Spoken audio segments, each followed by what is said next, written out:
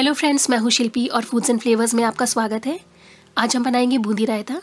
यह बूंदी रायता मैंने अपने यहाँ शादी में काम करने वाले एक हलवाई से सीखा है, जो कि यह रायता बहुत बहुत टेस्टी बनाता है। इस रायते को बनाना बहुत ही आसान है, आप इसको ज़रूर ट्राई करिएगा।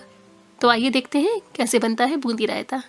यह है रायता बनाने की इंग्रेडिएंट लिस्ट आप इसे मेरे ब्लॉग www.foodsandflavors पर भी देख सकते हैं। रायता बनाने के लिए यहाँ मेरे पास है दो कप गाढ़ा और सादा दही। मैं इसे अच्छे से मिला लूँगी।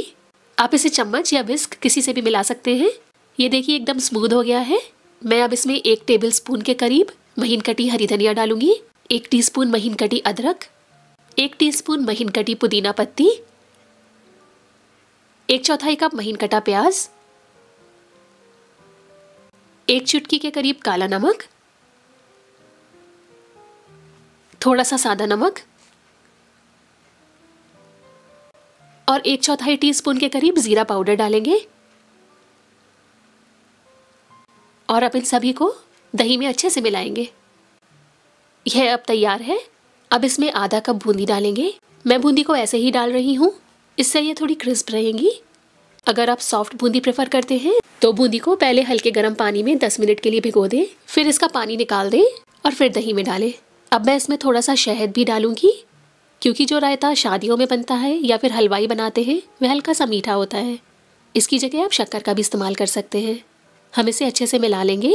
रायता अब तैयार है, आप इसको ऐसे ही सर्व कर सकते हैं, पर आज हम इसमें तड़का भी डालेंगे, जिससे यह और भी मज़ेदार हो जाएगा। इसके लिए हम एक टीस्पून तेल को पैन में मीडियम आँच पर गर्म करेंगे। इसमें एक टीस्पून ज़ीरा डालेंगे और आधा टीस्पून लाल मिर्च डालेंगे और तुरंत ही इसको आँच से हटा देंगे।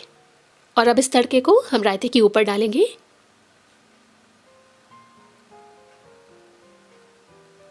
और इसको अच्छे से मिक्स कर लेंगे।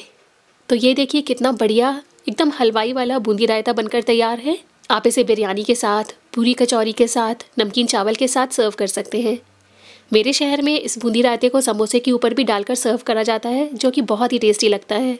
तो आप ये स्पेशल शादी वाला बूंदी रायता ज़रूर ट्राई करिएगा, और आशा करती हूँ कि आपको ये बहुत पसंद आए। अगली बार आपसे फिर मुलाकात होगी एक नई रेसिपी के साथ। तब तक के लिए टेक केयर एंड बाय